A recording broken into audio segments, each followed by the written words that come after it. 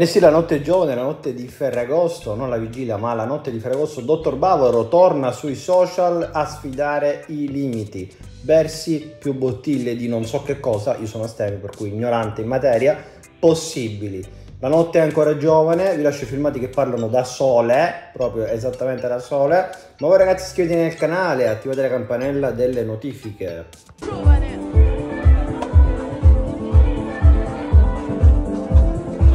Palleggiare un po' soft.